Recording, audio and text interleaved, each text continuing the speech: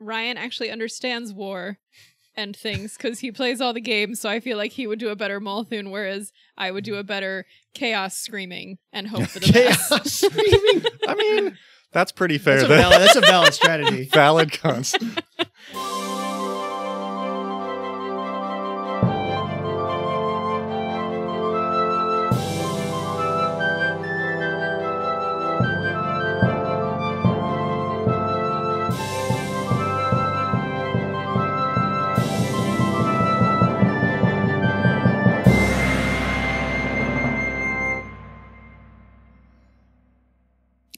Welcome to the Tabletop Travel Guide, the podcast where we explore fictional worlds and civilizations right from the comfort of our own table. I'm Ryan, and last week in Charles's campaign, I feel like I'm better understanding my kineticist character. Yeah. I'm like leaning more into that ranged blaster role and realizing I cannot do a Boston accent. uh, Ryan doing a Boston accent has been fantastic. It's been just mostly me talking, but like It was bad. angrily. it wasn't good. He didn't even try with the R's. Boston. There's no R in Boston. Boston. Why did you pick that word? I don't know. Go to the car. The car. He and didn't the, even try. There it is. something's in the car.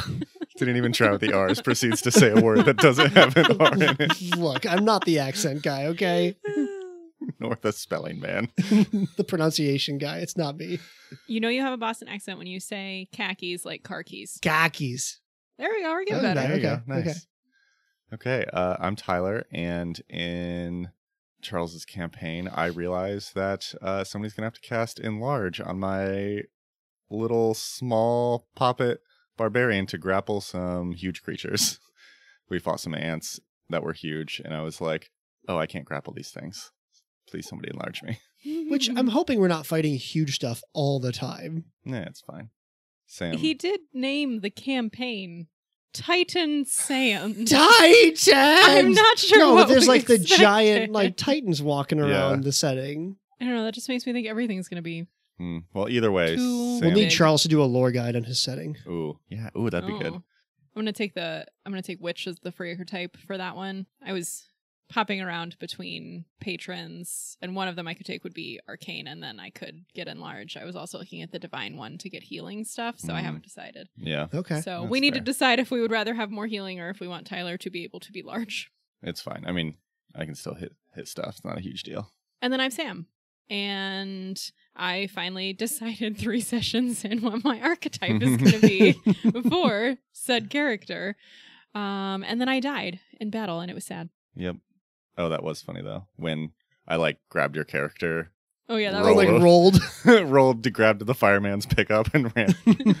I was like, oh no, I've gone down. I learned I needed friendly toss to chuck her out of combat. We're learning as we go. It's great. Yeah. Make it work. Yeah. So, of course, quick, quick little bit of housekeeping first. Always reminders you can support us on Patreon. There's a link in the show notes and also a page on our website, or you can search us at Tabletop Travel Guide Podcast on Patreon. And then we have the deity draft results. And I'm not going to say this because Woo! I'm biased. Yes. So- Between the guides and the patrons, we had two wildly different results with our deity draft. For the guides, it was a Cinderella story. Mhm. Against all odds, uh-huh. he was two weeks down Yep. in the first two weeks of eliminations. Yep. He was 0.5 points from being mathematically eliminated from the draft altogether. But in that final hour, the 11th hour, it turns out that Gorum, the god of war, is the one who is going to be dying. And who should have Gorum, the god of war, on his team? None other than Ryan. Call me the 1980s USA hockey team because I was a miracle. Barely pulled it back. The tabletop travel guide story Yeah. of Ryan arise from the bottom to the top, coming to a lifetime network near you. Does We're this gonna- make Tyler the Soviet Union? I don't know. Who, who plays the Soviet Union in this adaptation? I don't know. Sam was doing pretty go- good most of the time. she was the front runner. Wait, so there were three of us though. So what are somebody else has to be in there too? Well, I'm, they. I'm Sweden. Oh, I'll say they. Ra- that was actually the uh, that that game was not the gold medal game. They like beat actually beat a European team for the gold medal. So Oh, fair. That that's the other third team. Okay. But yeah, so anyway, Ryan went one think I've ever seen with one by 0.5 points. Woo, so congratulations Ryan! to you. On the flip side, for the patrons, the competition actually ended a week ago. Uh, you we talked about it on our last episode, Mhm. but Rod continued and finished the competition with a perfect team. He had Gorum on his pick. Oh my gosh. Yeah, so he was ahead by like almost 10 points. Rod. Yeah. Rod. Yeah. So he sealed the deal. Couldn't have played better. Pitched a perfect game. Good job, Rod. Rod, we will be inviting you to Vegas to gamble on things. You may tell us I'm all sorry, of the what? things that we should pick, and Oh. yeah. then Yeah. The, the Yes, prize for this is a trip to because- Vegas, Yeah. right? obviously, and then we make you pick all of our bets, and we'll play roulette, and we'll win a bunch of money. Yeah, you, Done. the prize is you stand over our shoulder while we gamble. And tell us yes, no, bad, definitely not. yes. But uh, also, it's not a trip to Vegas. We ain't got that kind of cash. No. Nope. But uh, there are some honorable mentions as well because uh, he picked Gorum, but so did four other patrons. Ooh. So Kaga the Loon, Aqua Lantern, Kyle M, and Chad all picked Gorum oh, nice job, guys. on their teams. So How many people total did we have participate? I participate? think we had like 17, Oh, no. nice. maybe 12, some amount. You caught me I mean, off that's guard. still like I feel like pretty good. Yeah, That, good job, people. that number of people picked yeah. the winner. So, So- good job. Thank you again to our patrons for playing with us. This was super fun to do the lead up to the War of the Immortals. Mhm. I'm like now thinking, what can we do a competition of next? I don't know. We'll think about it. We'll think about it. There have yeah. to be other things that we can make wild guesses about Yeah. that are coming. It's legal in this state, so you know we can do that. Guessing wildly. uh, Gambling. tabletop travel guide becomes a table a gambling site. Ugh. Anyway, Yeah. So with that, then I don't think we had any things we misspoke last time. uh, the only thing that we misspoke, and it was a few weeks ago uh, when we did our Cozy Kingmaker episode, is that we couldn't find the word for people who sell animals, and the term is rancher. Oh, We we, we I- went with like cow, cow finder or whatever we, settled on. you said cattleman. We, Cattle ended up, we, we ended up settling on drover, an Australian thing that we're not sure whether. Afterwards, we looked it up. I'm like, Sam, the word we were looking for was rancher. we dumb. we real dumb. What's the word? Because it's an improv thing, I am going to forgive us for Yes. that. That seems not unreasonable. Thank you for forgiving us. Yes, I forgive us as the group. we did zero research and did not know that we needed to come up with job titles for Any- things. Yeah, Anyway. so we're good. Yeah. That being said, then I think that moves us on to our main event, Yes. and it's not me this time for the weird ones. Tyler is the split countryman. I am. So we are finishing out Avistan. We are going to be talking about Nirmathas and Molthune, our last two countries in Avistan. Oh man, Yeah. Before we get dive in, uh, for references, I used the book Nirmathas and Molthune, Land of Conflict. Which is not a bad book. It is not a bad At book. At least you had a country pair up where they're already talked about together and not like a country pair up where we were like, there's not a lot of information. Yes, we yes. mushed these Yeah. together. Yeah. Uh, the, the this is the easiest one, so I, I got off scot free. Sorry, Ryan. That's okay. And I also used the wiki. So Yeah. Nirmathas and Molthune, we are in an area that is west southwest of Lake Encarthan. hmm the two countries kind of wrap around that area. There, Molthune is west of Druma, so it's kind of parallel with that. East of Mhm. Cheliax, that kind of area. Uh, south of Belkzen. So that's kind of what we're looking at in the Isle of Dread. Yes. Before we even get to Nirmathas and Molthune as a country, we got to start out thousands of years prior Oh, way back. in the Fangwood. What is the Fangwood? what is the Fangwood? A forest? Yes, it is a large forest that's located across northeast Nirmathas and southeast Gravelands, previously Last Wall. Mhm. Um, it's split by the Tourondel River, so it has what's called the Northern Fangwood and Fangwood and the Southern Fangwood. We might do a lore guide on the Fangwood at some point because there's a lot of cool stuff there, but I didn't want to put it all. I kept reading more, and I'm like, okay, I can't put too much There's here. a lot there. But the part that's matter that matters is thousands of years ago, it was settled by elves. Mm, very Lord of the Rings. Yep. And there were also within the area a bunch of breaches into the first world, and Fae filled the forest. Sure. So you had elves living with Fae, all that fun stuff, and that's how it went for thousands of years. hmm Um, unfortunately, it didn't last, as all things don't, as friend of the pod Meteor showed up in Earthfall. Sure. Oh, yes. So most of the Fangwoods elves fled to Kyonin and then Sovyrian. Uh, mhm. some instead took portals to the first world. In the confusion, some elves and Fae were stranded in the Fangwood, and those elves ended up taking refuge in the Darklands when the orcs showed up. Ooh. poor buddies. Um, over the next few centuries, Kellids, allied with the newly emergent dwarves, remember orcs showed up first, dwarves Mhm. showed up after Mhm. them. They worked with the dwarves to push back the orcs. The Ke- the Kellids then settled into the Fangwoods, and the Fae that were still there, the Acresial court, run by Queen Gendowyn, um, they made allies with the Kellids. Okay. So again, unfortunately, not, not all good things come to an end when Taldor shows up. Uh, So Womp womp. during one of the armies of exploration, they wanted to explore all over that area. Luckily, the Kellids were able to fend off the Taldans with the help of the Fae spies, and after many hard-fought battles, calm again ensued in the Fangwood for many centuries. so you kind of have a a tenuous relationship between the Kellids and the Fae and some dwarves. Yeah, All yeah, fighting off the Taldan. yeah, yeah. So for the for, for the most part, the the Kellids and the dwarves are cool with each other. The Fae and the Kellids are cool with each other.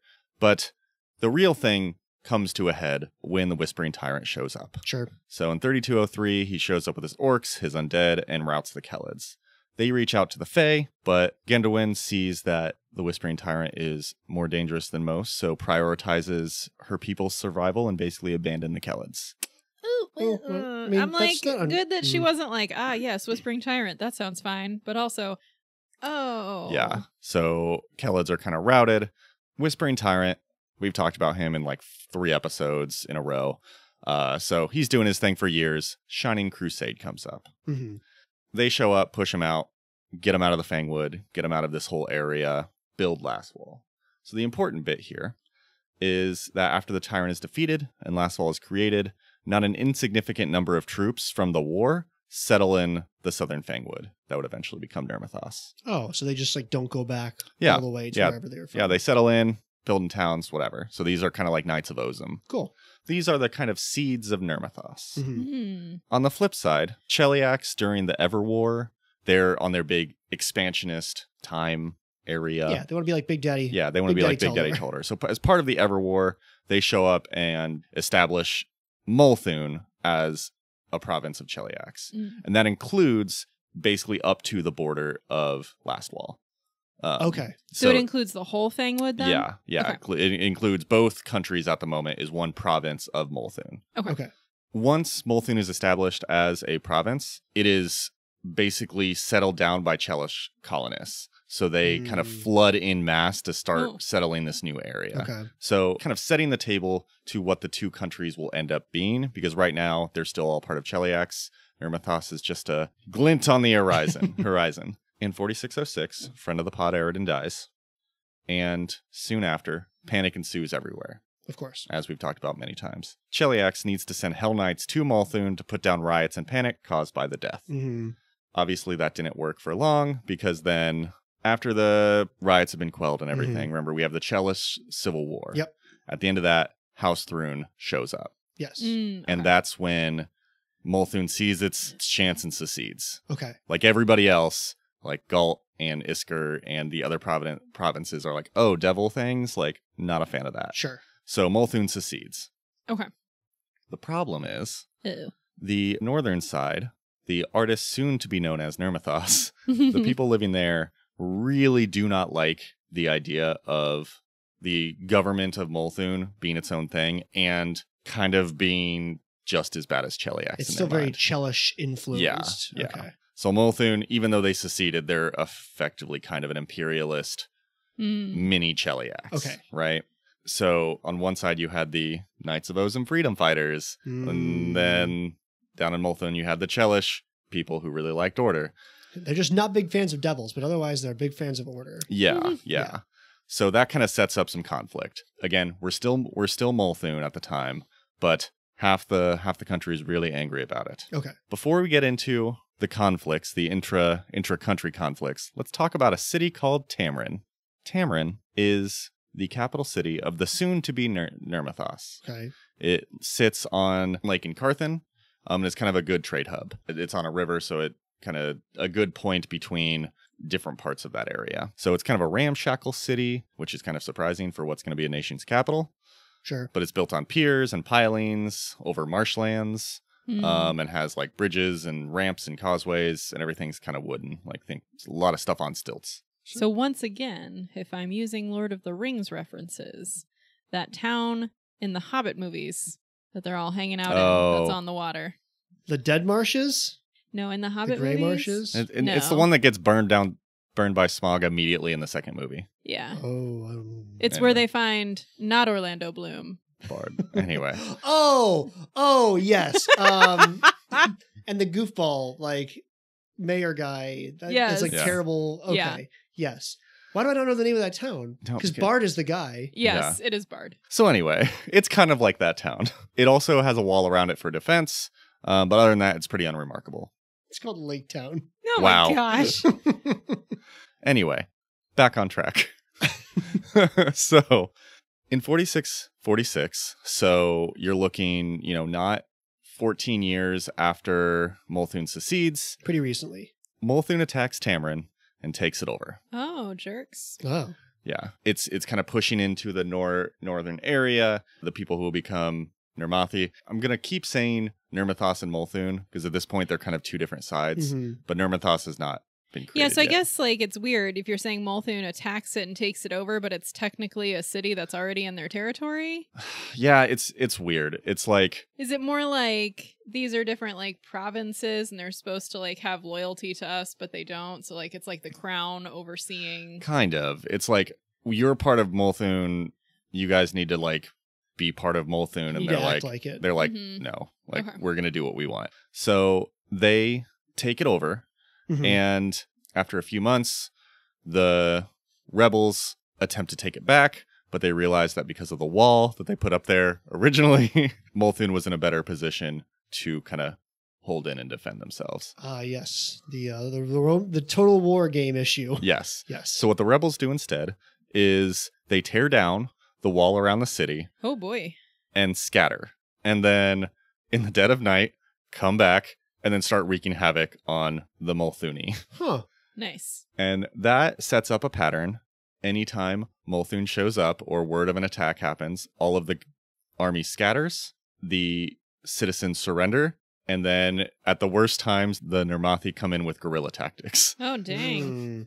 So the cycle of violence has started now. Yes. Okay. So this is what will then become known as the first offense. Mm-hmm. This is the ignition point of the war that's going to keep going. Okay. Okay. So the rebels take it back. Everything's good. A year later, Molthune takes Tamran again Oh geez. and holds it for a few weeks, but need then need to move south as their military is now split by trying to hold that, and also they're getting attacked by Chernasardo Rangers from the Fangwood. Oh boy. Hmm. So they lose Tamran again. And then everything kind of comes to a head and the war officially starts when Urgal Nirmath, he begins training isolated settlers into an organized rebellion and officially declares war against Molthune. Mm. Okay. So up until now there's been a lot of kind of like sporadic attacks, some maybe tiny militia, but like nothing terribly organized. Insurrectionary activity. Yes. and then Nirmath, uh, Nirmath shows up and officially declares and gets everybody organized. Okay. Sets things on fire. Yes. So this conflict and this war will become known as the Freedom War Okay. to Nirmathas or the Northern Rebellion to Molthune. Uh-huh. sure. yes. So now we're going to kind of go through some like important dates in the war and like things that happened. It's th- there's a lot of kind of tit for tat.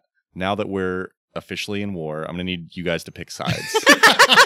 yes. so who wants to be Molthune? Who wants to be Nirmathas? Sam, you can pick. I'll give you first right. Want to be Nirmathas because Ryan actually understands war and things because he plays all the games. So I feel like he would do a better Molthune, whereas I would do a better Chaos Screaming and hope for the best. Screaming. I mean, that's pretty fair. That's a, then. valid, that's a valid strategy. Valid cons.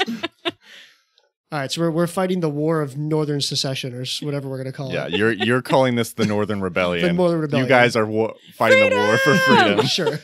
See, that's all I got. Just yelling freedom. so in 46 48, during kind of this same year, Fangwood Keep is constructed. So Molthuni forces kind of build this keep along kind of the war borders. Sure, we're going to have an outpost. Yeah. Forward operating base. Um, See, he understands. Yeah. So basically, I mean, kind of that. It's basically a strategic fort. Um, it will change hands several times going forward. Awful. yes. Uh, fun fact, though, unrelated, the site of the Fangwood Keep was originally built years and years, hundreds of years earlier by a corrupted elven transmuter named Tessariel as a place for interplanetary travel. Oh, Yeah. What is a transmuter? Because that sounds like a car piece. Uh, it's like a it's like a mage. So like Okay. it, it's you know it like evoker or oh. diviner transmuter is, is one oh, of the schools is of a magic. type of. Yeah. Okay, Oh. that makes Um, more sense. interplanetary travel. Yeah, the the plan failed. However, the attempt to do this failed, uh, and so it was abandoned. But then Molthune showed up when they did and said, "Hey, free free stone." it's free real estate. yeah, they basically built it up from that. Anyway, the next year, 4649, Molthune exiles all supporters of Nirmathi secession. Well, obviously, Yeah. the best way to run a war is to get rid of everyone who doesn't agree with you. yeah, So send them all north to join the army? Yeah. That seems like a questionable decision, actually. Ryan, what are you doing over here? Thanks. Get out of this country. Go go up there and fight for your freedom. we don't like you. Please, get, we're, so we're giving you more reasons not to like us. That same year, the Nirmathi rebels set fire to a Molthuni logging camp. Chaos screaming tactic. In retaliation, Molthune seizes Tamran again, Boo. this time holding it for over six months until the battle at Deadeye's Gulch divides Molthune's attention enough to for Nirmathas to reclaim Tamran once again. Oh my gosh. We need to like So in the Tamran count, we are at three Molthune Oh my takeovers. Jeez. need to like I don't know, build a bigger we keep getting distracted by like a just a second thing. Like it seems Yes. like we can't fight on more than one front. I think Right. your army is spread too thin. I feel like we need a bigger army. right? Uh, you shouldn't have sent all the. How big is our army? you should have conscripted people instead of kicking them All out. the, yeah, see, all those people I kicked out, I should have made them into soldiers. Get back here. So, Deadeye's Gulch, the battle. So, this was a week long battle Oh, that is considered the Freedom War's bloodiest battle. Ew. Neither side ended up winning. It was one of those everyone died. It kind of sucked. sure. Uh, but the fact that Tamran was able to be taken back, I guess, could be considered a win for Nirmathas. So a Nirmathi Pyrrhic victory. Yes. So, th- so then, two years later, 4651, the Molthuni army retakes Tamran, Ding! Number four, and holds it for less than a week in the Battle of Bloody Teeth. the Battle of Bloody Teeth. Yes. This was a three day clash that started when Molthune's general lords, basically think the kind of people right under the head of Molthune, Yeah. um, initiated a battle by making permanent claim to Tamran and pushing a large armed force to the city and through the river. What is our chief of st- what is our staff doing? we now officially say that this city belongs to us. If you put a flag on it, obviously We've been no fighting contest. the war for two years, sir. Right? Uh, the interesting tactic in this battle was what they did is they just mowed down all the trees along the river as they were going Ooh. uh, to basically stave off guerrilla assaults from the Nirmathi Oh, rebels. Okay. So you can't attack from behind trees when there are no trees. That sounds like a bad thing to do when we are close to the Fangwood and the Fae. Bring in the Agent Orange. wow. Oh, yikes. Uh, however, Druid allies joined no. the Nirmathi rebels and pushed the army back out of Tamran. In this. Yeah, take that. Nature wins. Who could have suspected that by attacking nature itself, I would piss off the defenders of nature? Yes. Come on, Faye. uh, this is considered actually kind of a turning point in the Freedom War. Uh, it gives Urgal a lot of momentum over the next year and a string of victories. So, four years later, Maybe we should just ignore the city. We, can- we don't seem to have a lot of success holding it. Let's do something different. Surely there is somewhere else on the coast that you could have a trade Maybe post. somewhere else. Have we tried encircling the city? Maybe just, I, I think ignore it. We could have ignored the Right. city. Right? we'll just build a new city right next door and call it Better Tamran. Tamran 2. Tamran. It'll be Uptown Tamran. no, you have to pick downtown because Nirmathas is north of Molthune. ah, there we Ah, go. Downtown to go Tamran. downtown Tamran. in kind of 4655, the the border between the rebel held lands and Molthune kind of solidifies at this point. Okay. Uh, the rebels declare their victory, and that same night, Urgal Nirmath is killed by an unknown assassin. No. Aha! yes. Uh, and people still are not sure to this day who killed him. Oh, The, I mean, it was the me, assumption it was it was most likely uh, rude. yes. The rebels officially named their new found nation Nirmathas in honor of their fallen leader. Hmm. So Gross. a time where it's named after a dude after he dies, not but when he It's a decides little to name better. it. Because Yes. he didn't name it that himself. Yes. Yeah. I guess this- the analog is like if George Washington was killed at the end of the Revolutionary War, we call the country Washington. Hmm. Ooh. Weird. Now we just have a city and a state named after him instead. Yeah. There's probably other like Washingtons as I'm well. sure there oh is. yeah. After that, everyone lived happily ever after. Peace was had forever. I disagree. End of episode. No. Oh yeah. No one is angry or upset about No this one- outcome at all. I feel like no one's happy about the outcome, period. Like the main leader got killed. I lost my territory. I mean, I think I'm happy as Nirmathas. Like, we have a border. You have You're not in it. you have a mar- you have a martyr. Like it, Yeah. Oh yeah, I do have a martyr. Yeah. We're gonna Yeah. put him on all of the coinage. yes. Do druids accept paper money? Hmm. Good question. Okay. Now that the countries have been solidified, let's take a quick aside to talk through why they have decided to keep fighting afterwards. Well, obviously, because they never actually finished the war, right? Right. Well, yes, the Freedom War slash Northern Rebellion has concluded. The conflict is not over. but let's take a little bit of time to talk about what they're saying in Molthune and Nirmathas. Mhm. Hmm. So, Molthune, if you ask why they continue to fight Nirmathas after all this time, they say they only seek to reunite the land that petulant revolutionaries tore apart. Wow. This is a peacekeeping operation. We're trying to reunite the people under our guidance. It's a special operation into northern Molthune. the conflict would just end if everybody would just reunite under Molthune, guys. Right? Come on. This sounds like Nirmathas is like your teenage kid that like ran away, and you're like, if you just come home, it will be fine. Yes.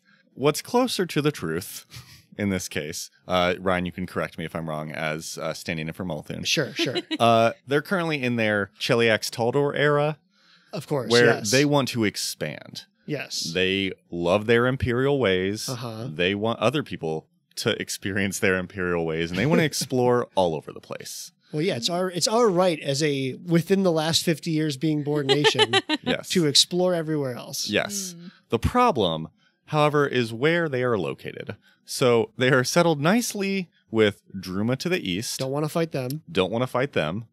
Uh, the Menador Mountains to the south. Not really worth it. That's kind of a pain. And then on the other side is Isger. So, like, what do you want to do with that? Or, or orphans?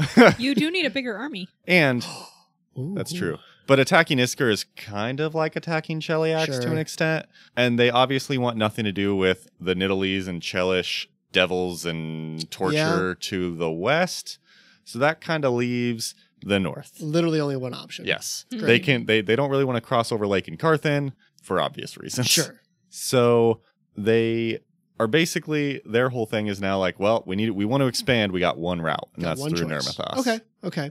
Does this sound right? Yeah, obviously. I mean, th- it's still our country anyway. They're just Yeah. they're just they're squatting. they think fair. they have squatters' rights, but that's not true. Need to get the Hmm. sheriff. Excuse me, you need to leave. We're you're evicting the squatters. So on Nirmathas, what they would say if you ask them why are you continuing to fight Molthune after all this time, is they would say they wish nothing more than freedom from the greedy imperialist grasp. Just let me live my life. What's closer to the truth is actually that's kind of it. The thirst for freedom really is what makes them keep fighting. Uh, it- at this point, it's become kind of a stubborn nation pride thing. You can't control me. Yes. I won't pay your taxes. yes. It kind of goes even beyond just like fighting Molthune and, and external threats. Uh, this kind of like thirst for freedom extends even within their own people. Uh-oh. So a, a sentence I read while researching in uh, the book I really liked was that each Nirmathi homestead is a castle unto itself. They should probably join the River Kingdoms. I think they would do better over there. The problem with the River Kingdoms River implies Kingdom's that is is that there are kingdoms in the river kingdoms that are ruled by people, and they don't like that. Sure. So they're against any whiff of authoritarianism or authority. Oh boy. And so organizing people towards a common goal is kind of impossible. Oh boy. Um, the only thing that will unite the people of Nirmathas are uh, something that threatens that freedom. See Molthune. So they basically kind of begrudgingly join together to fight Molthune because they know what's at stake. Sure. They can all agree that Molthune sucks. Yeah. Okay. And in their case, just how Molthune's location makes it suck for imperialist expansion, Nirmathas has kind of similar borders. They have the the Mindspin Mindspin Mountains to Mountains the Mhm. west. They have the lake to the east. They, they have Belkzen up north, or well, they have the Gravelands up north, which is kind of a problem now. But it, for a while, it was Last Wall, so like they're kind of in a good spot Yeah. to not be attacked and don't really need a lot of organizing force. Hmm. With that being said, does that sound right to you, Nirmathas? Nirmasam? Again, chaos Sam. screaming really sums up what we're doing here. Yes. Not a lot of a plan, not a lot of authority. We'll set some stuff on fire. I, sure. I feel like Nirma. Let's get But we love the forest. yes, it's true. So, a history continues. So, in 4697, almost 50 years after the end of the Freedom War, uh, are the Goblin Blood Wars. Sure. So, we talked about that in Isger, but Mhm. reminder there's basically a ton of hobgoblins and goblins that ravage Isger for four years. Great mhm. Yes. So, at the conclusion, in 4701, it drives many of the remaining hobgoblins north into the Menador Mountains and Molthune. So, Molthune then starts employing skilled hobgoblins as mercenaries. Ah, I'm going to build that army. There it is. Yes, we'll come back to that. 4686. Ding, ding, ding. Molthune seizes Tamran. Woo! Again? the fifth and final time Molthune gets uh, seizes Tamran, but they get frustrated at how difficult it is to maintain hold of the city, so they burn it down. Oh. I'm not. If I'm Molthune, that kind of makes sense. They're like, screw if, this city. if we can't have the city, no one can. So they burn down the city. Yeah, yeah. Again, there had to be another place on the coast of this giant lake that you could have an outpost. It's Yes. about sending a message. And speaking of sending message, almost to spite the Molthuni people, Nirmathas spent the next year rebuilding Tamran from the ground oh, up. jeez. At this point, Molthune threw up their hands and abandoned any efforts to retake the city. yeah, yeah. Yeah. Mhm. They're just Yeah, like, makes sense. you know what? Keep it. you can keep it. It sucks anyway. we never wanted it in the first place. nice. El- 12 years later, in 4699, Molthune starts building a massive border fortress that's now known as Fort Ramgate. Amid the constant oh, I like this name. Yes, amid the constant changes of territorial control. It would be finished in 4711. So, Ramgate. yes. Uh, it gets its name because of the amount of times the Nirmathi soldiers tried to destroy its gates by using rams. Haha. They were not successful. Yeah, we don't have tactics. Again, we're, you know, chaos screaming. Yes. So, In 4703, uh, the Fangwood Keep is lost. So remember this fort that was kind of on the border at the time between Nirmathas and Hmm. Molthune? Uh, mm, Molthune loses control of the Fangwood Keep, and Nirmathas pushes several dozen miles south. so ha. expand- Yeah, but their we have territory. Ramgate now. We don't. We don't need Fangwood Keep. Yeah, you they kind of run up. Ramgate is south by a couple dozen Um, miles of uh Fangwood Keep. So We'll build our own city with hookers and blackjack and more gates. yes.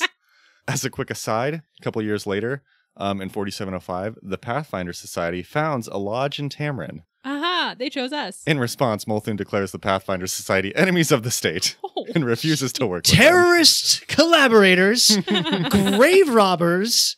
We will not have them in our city, in our nation. I mean, depending on where you're at, that's not entirely wrong. Yeah, that's fair. So that kind of brings us to 4715, the Ramgate Massacre, Uh oh. Uh-oh. Uh oh. where Hobgoblin mercenaries at Fort Ramgate they slaughter over 90% of an invading Nirma- Nirmathi force. oh no. and then, against Molthuni policy, they turn on civilian support camps in the Uh-oh. nearby woods. oh man, this is bad for everybody. Uh-oh. Well, it's it's uh Nirmathi. Oh, I know it's, it's mostly support bad for you. Yeah. Dang it, it's mostly bad for me. Yeah, I thought that at the same time, I'm like, oh, they went both. I'm like, no, it's it's the Nirmat, like basically Oh. Nirma, Nir- Nirmathas had some like civilians in supporting These the war. camps effort. were harboring terrorists Guerrilla fighters, they're all enemy combatants. Yeah. Oh, to be fair, at this point, Molthune themselves are kind of like, oh no, they went too far. A lot of people were real angry about this. I may have accidentally a massacre. Yes. So because of uh because of this, the Nirmathi dubbed that the Ramgate Massacre, Sure. uh, and attacks against the fort have slowed in the recent years. Well, So we're not going to get into it this episode, but a few years later, hobgoblins would then lead what's called the Iron Fang invasion, and there's actually an adventure path of the same name um, to create the current hobgoblin nation of Oprak. We're not going to get into it this episode. I think we'll do an adventure guide for the Iron Fang invasion. Are they invading Molthune or are they invading Nirmathas? Yes, they're doing both. Oh, So yeah. Bite the hand that feeds you. I may have made a mistake. Yeah, you so, created a monster. so the current nation of Oprak, uh, which is kind of like a second edition Yeah. one of the nation is like west side in between Nirmathas and Mm. Molthune. Yeah. Up against the Mindspin Mountains. Okay. But let's talk current state of the nations. Molthune, it's a military oligarchy, as if you couldn't tell. Aha.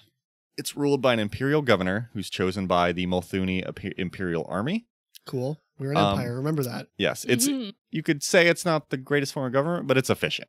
Sure. Um, there are nine general lords that we talked about. They each tend to certain areas of the country and also choose. They're the ones who choose a new imperial governor if the previous one dies, Okay. uh, sure. because it's a position held held for life. As inhabitants of Molthune, it's primarily occupied by Chelaxian humans, divided by a rigid class system that separates people into two categories: imperial ci- citizens and laborers. Mm, don't love that. Think of citizens as kind of the elite. Yes. They live in cities, the larger towns, and they kind of live lives of wealth and privilege. The laborers are basically indentured servants Ugh. who labor in farms and forests in the rural in the rural areas of Molthune. I don't love that. Yep. Uh, laborers have been told they should take pride in their work and they and recognize how important they are to this country. And a lot of them do.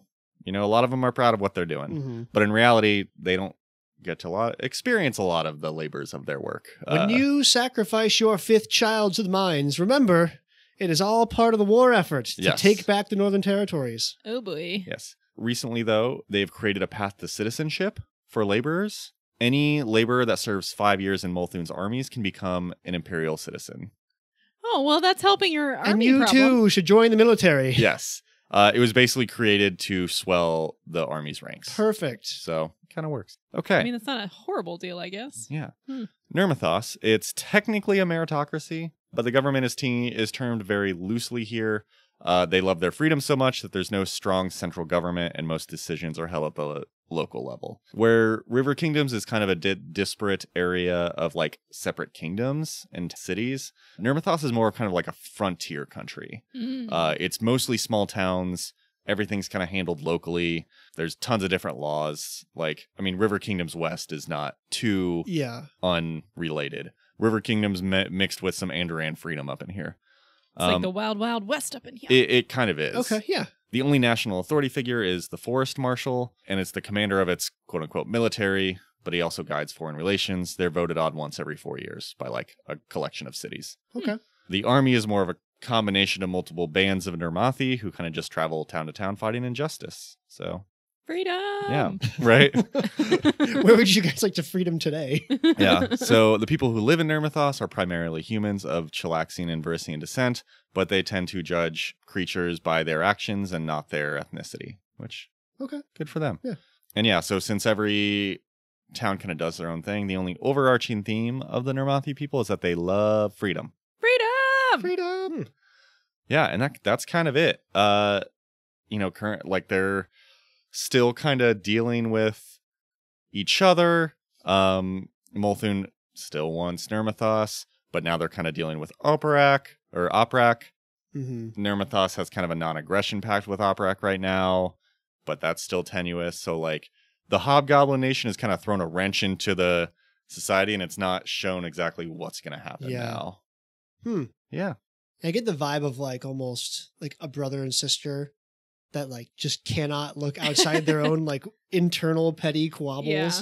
Yeah, it's they're they're they're penned in by like other powers that be, and so like have nothing to do but fight each other. Yeah. It's kind of a weird, weird vibe. But I also feel like if Molthune just gave up, then it would be fine. We wouldn't have a conflict anymore. They're like Molthune's like too proud to give up. Like It's like, yeah, Molthune's too proud to give up, and Nirmathas is too proud to. I mean, Nirmathas but- is. Ju- I've, I mean, they're generally my justified. hat. Nirmathas is completely justified in not wanting to deal with that. Yeah. yeah, everyone wants to secede and be their own thing. So that, yeah, that's uh, that's basically the countries of Nir- Nirmathas and Molthune. Nice. Whoop Great, whoop. Tyler. Well, appreciate that this story, Tyler. Sam, you, you your your country sucks. Rude. I'll burn down your stuff in your sleep. And then I'll take it back for the eighth time. And then I'll build it again and burn it down again. and we stay in the cycle forever. the the history of Tamran is basically a microcosm of the history of Molthune. I take it. I take it back. I take it. I take it back. So while Sam and I destroy and rebuild a city 12 times, we'll take mm-hmm. a short break. And when we come back, we'll talk campaigns and characters.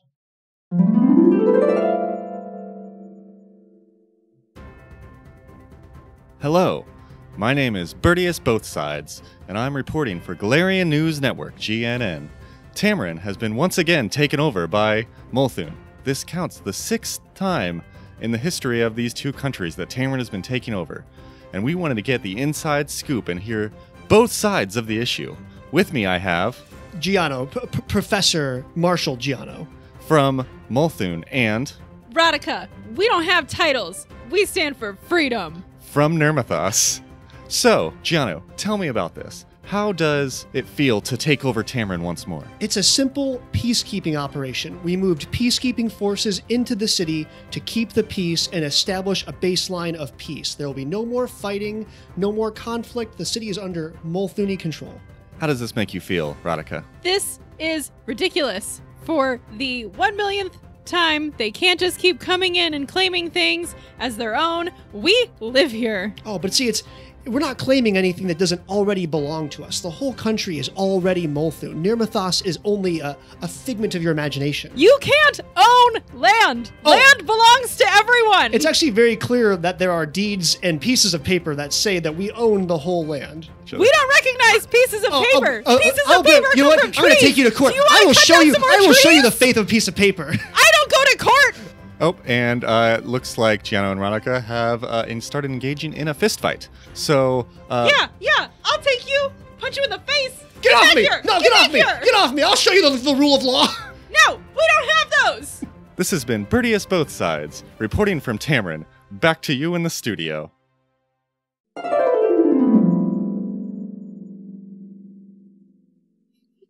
Welcome back. Hopefully, those two figure out their differences a little more peacefully. Uh, uh doubt it.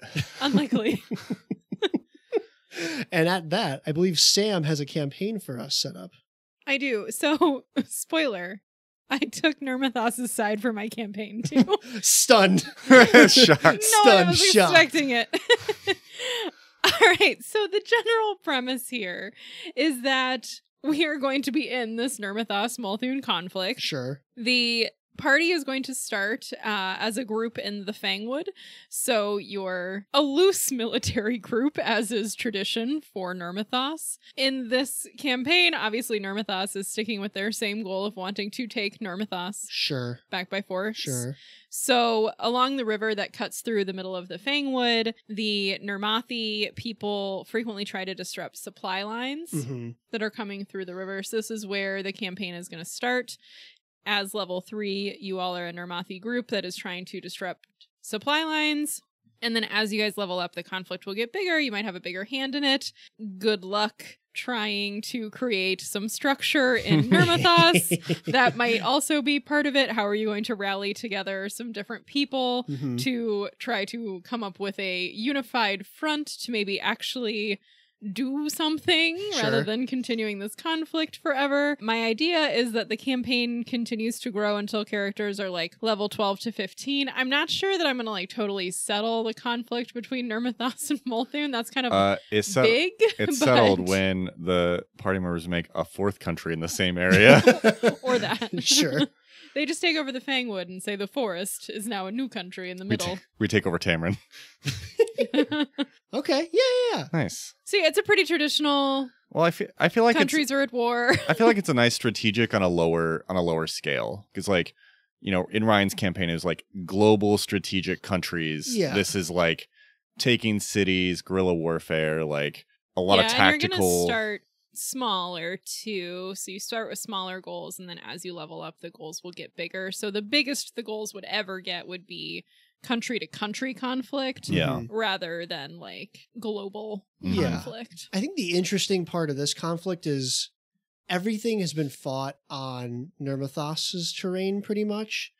And I think it'd be interesting to see what happens if like a Nirmathi army Mm. marches into Molthune. yeah. Yeah. Or even like a s- yeah, like a strike team and like Or if they could come up with like tactics to solidify the border so that Molthune can't keep coming in to attack. I think that's the other thing is like if Yeah. you can pull things together enough to come up with a strategy where like, okay, why does Tamran keep getting attacked? It's clearly not fortified well enough. So the party can kind of, you know, shift things to do we invade? Do we fortify? Like there's going to be choices where they can decide what they do with it, and that will probably depend on, you know, what everyone's Well, and I think you also motivations are. have trying to wrangle Ner- Nirmathi or Nirmathas's army is kind of a feat in and of itself. Yes, Uh-huh. So, like- absolutely. There could be a lot of things where like you are warring with other factions who are like, I have a better idea to how to do this. Like Mhm. It, it even said like the forest marshal sometimes finds themselves like, oh, a group just went off and did their own thing. What do we do? yeah. and there's a new election for Yeah. the marshal every four like, years. So I will probably put that into the Mhm. campaign I where like there's going to be an edge. election. So, Yeah.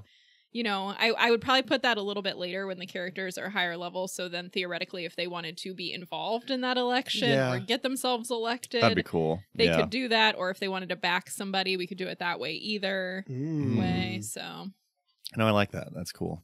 This is this is very fertile ground. I like this. I like this a lot. Okay. My character, my first character, because I have a Patreon character, but my character is Yannette. Yannette is a female catfolk prisoner.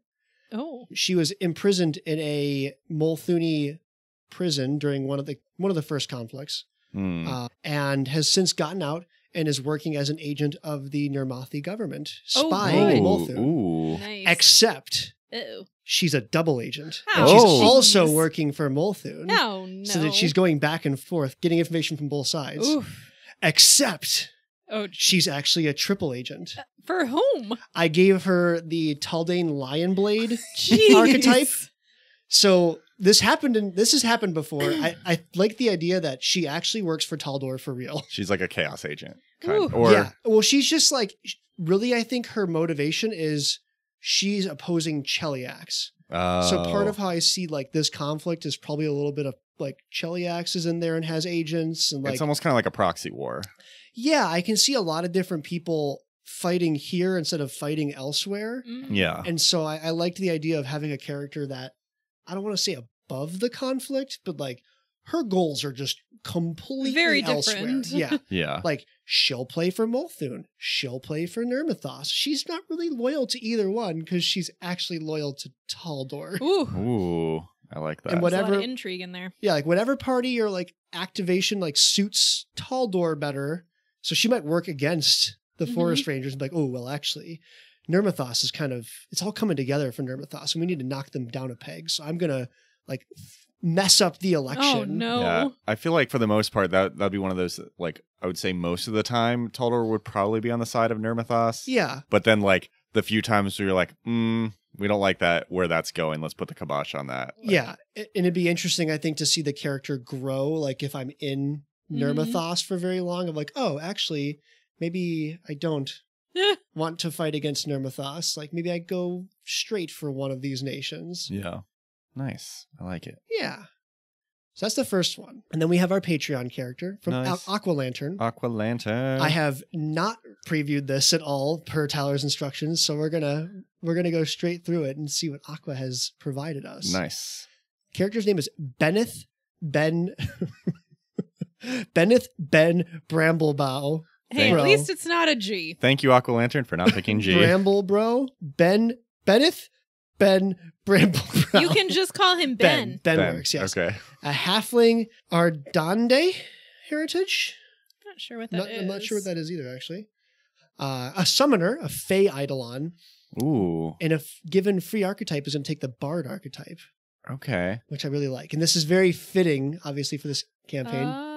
Oh. Please, Sam, help me. The Ardande is the heritage that comes from planar scions with elemental wood and Ooh. Oh, so it's it's from um Rage of Elements. Yeah. Oh, Well, okay. that's cool. So like, yeah. So you kind of have a lot of Fey influence on this halfling. Yeah. Okay. Mhm. So yeah, looks a thin and fit halfling with tough wood-like skin. Two large maple leaves droop over both his shoulders, looking like shoulder pads, Ooh. while a large amount of leaf-covered vines flow from his back like a reddish brown cape. nice. His eidolon, Skimmerleaf or Skimmer, is a medium-sized rabbit-like fey with dark red fur. Adorable. She has spines on top of her long, fluffy ears that she can shoot out to attack, and grassy fur that shimmers into fog when attacked. If defeated, she vanishes completely into fog and disappears back to the first world until summoned again. She's like a super cool Pokemon. Oh, that's so oh, cool. That is so cool. oh, a rabbit shooting. I'm already thinking like, yeah. Tell me the backstory. I'm in- Yes. interested All to right, hear. all right. Ben is a caster who can bring some strong magic damage into battle, plus intimidation to lower enemy morale. Out of battle, he is trained in stealth and survival to be able to scout along his Eidolon, along with his Eidolon. Skimmer has guidance to help the party in skill checks, using either kicks or acid spikes from the ranged combatant feat. Nice. So we're getting in there, blasting, shooting spikes. Summoners are so cool. I Summoners like are really cool. I've never played a summoner. I feel like they're a little complicated. Yeah, I mean, I thought that for Kineticist, and then That's true. It's not too bad. Yeah. Okay. How did Ben get to Nirmathas? Ben was born as a regular old halfling who was always drawn to the forests. Growing up, he loved chasing animals and leaving food for them, especially rabbits. However, as Molthune encroached further, threatened their lands, and harvested their forests, he found himself unable to ignore the call of duty. Yeah, Ben, get it. Get it, Ben. he volunteered as a scout, using his familiarity with the woods to his advantage. When he saw a group of innocent Fae having their orchard torched and trees cut down, he foolishly charged the enemy. Uh-oh. He killed some of them, but not before suffering suffering a terminal wound. Oh my gosh. oh, jeez. Guys, Ah! we have such tragic stories. the Fae repaid him, re- reincarnating him as an Ardande, and one of them Oh. offering to form a contract. Ooh, nice. Hunt down the escaped soldiers responsible, one of whom was a high ranking Molthune officer, and she would bind herself to him as an Eidolon. Ah, He agreed, and Skimmerleaf took the form of an animal he loved most, a rabbit. Aw. I'm so obsessed with this already. This is so cool. We've So got a revenge quest. We've got Skimmerleaf, who's actually a Oh. super cool situation over here that's like, cool, I'll be a rabbit. well, and for also little there's bit. some layers here because uh, Ben is a halfling, Yes. and I didn't really cover this, but in Molthune, much like Cheliax, halflings are kind of considered not people. Like, they're oh, basically Oh, slaves. Okay. Ew. and so you see uh, like the fact that he's a half halfling, and also like one with the Fae, and like there's a lot of animosity right there Oh, for man. Molthune. Woo, I love it. I'm, I'm sensing a little bit of a little bit of murder in our future. Yes. Excellent. Ben's goals: he wishes to find the Molthuni officer, Arana Stormspear, responsible for the destruction of Skimmer's That's Grove. kind of a cool name. it is a good name. So glad he named this person for us. Yeah. Obviously, we will build this into the campaign and have a confrontation. Absolutely. He hopes to one day be a traveling performer with his Eidolon after the war is over, Oh, or if it's time for him to retire. nice. Hmm, Skimmer is sweet, generous, and a little bloodthirsty. Love her. It's Amazing. Oh my gosh, Skimmer is the bunny from Monty the, Python. com- the rabbit of Carnaba- Carne Barog, I think yeah, is what so it's called. just like flies around killing people. I love this, but fully supports Ben wishes upon his retirement. Oh. If she gets bored, she'll just like go murder somebody. It's fine.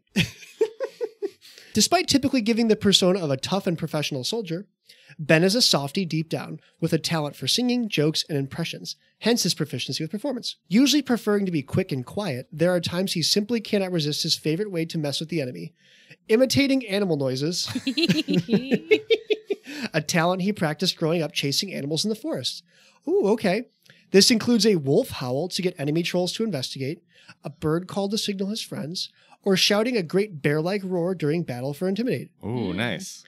He also has the fascinating performance feat to amuse or distract someone if his ant- with his antics if necessary. Nice. That's awesome. Excellent. I love the integration of all the different like noises into your skills. yeah. Oh, that's so cool. This like works out really well. I'm really into it. I also like that with this type of campaign because it's a little bit more broad from the beginning. There's ways to bring in everyone's backstories Yes. really well. So when people write cool things like our triple agent or you know Ben's revenge quest. Yeah. They're easier to like fit into that Yeah. too, since it's not like a super complex plot. I mean, obviously, our cat folk, my cat folk character is reporting to Stormspear, right? Like, obviously, that's that's one of like the connections there. Of like, I Dang. am I reporting? Am I not? Like, ooh. Ooh, I don't know. I might like if if I was the please, GM please, for this, GM. I might also create animosity between you and Stormspear. yeah. With maybe the idea that she's a little big for her britches.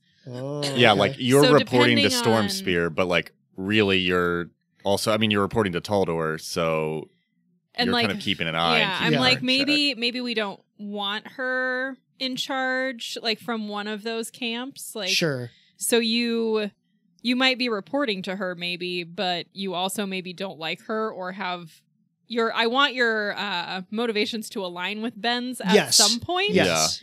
there cuz I think that could be cool. Yeah, like I'm reporting to her, but she's like maybe she's a bit of a prick, and Yeah. it's just like very dismissive. and like, Yeah. I don't really or care. or she has something that Taldor wants so you're reporting to her to get something. But ultimately, Taldor doesn't care about her, yeah, and then maybe you just don't like her from a personal Well, level. maybe she's you know maybe she's got a little bit of devil devil influence, and Oh, yeah. Mm. she's got she's got friends back in Cheliax. Oh, this Hmm. is so cool. Okay, Ben and I are going to be best friends. Nice. Well, maybe not Ben and I. Skimmer At and I are going to be At some point, your interests will align, though. What's- Skimmer and I are going to be best friends. I love it. Nice. I love it. This is so good. fun. okay. So We got to rank it, right? Oh, Rank it. jeez. Are we okay. ranking We- both separately. nations They gotta be separately? separately. Okay. Mm. so uh Molthune, what are we ranking out of? Zero out of ten. Can you rank them both out of Tamrans? uh, we'll, we'll have we'll have zero out of ten flaming tamarins for zero for Molthune, zero out of ten uh, free tam- free free, tamarins? tamarins for Nirmathas. Okay, so Nirmathas uh, or Molthune first. Let's do Molthune Okay, first. so Molthune. I don't get the vibe that they're evil. I feel like it would be like a devil-less Cheliax to go see. Yeah. It's like still kind of not great, maybe. I mean, I guess it might not be too bad. I don't know. I don't get the vibe there's a lot to go see even. Yeah, Like they're so focused on fighting Nirmathas that they they're probably just a very like wartime economy. Like Mhm. Yeah. everything's about fighting, yeah. yeah. but it's not f- five, Uh, I four or was going five. to go like lower than five. four. Because I'm like, it's. uh, There just wasn't enough for me to think, like, this is fine. So it might be a four. Because I'm like, it's not bad, but it's not good either. But it's Yeah. not like neutral enough that I'm going to, like, go get a hotel here. Yeah, Yeah, four seems I- reasonable. I think four is fine. Uh, Four out of ten four out of ten flaming tamarins. flaming Tamrans. Okay, Sounds like a candy. so Nirmathas zero to ten free tamarins. yeah, I feel like it's also a four. Like, I I feel like it's I the feel like same. I feel like I'd want to go here m- a little bit more because I feel like the Fangwood might be cool to see. But you got the Fangwood on both sides. No, the Fangwood's on the side of Gravelands. It's only in Nirmathas. Yeah, oh, I thought the river and- that cut No. it, they still got No, some the- in Molthune. No, the Fangwood is Nirmathos and Gravelands. Molthune doesn't have any of it. Oh, okay. So I think the Fangwood might be cool to see. I don't Yeah, know. that's like, I I, mean- guess, the only positive. It's like I guess you'd go to a national park. Yeah. And like I mean, that's at least something to see. I feel like the rest of it, where it's like everybody does what they want and we don't have like a centralized government, also doesn't But sound like, do they do they have like are there roads?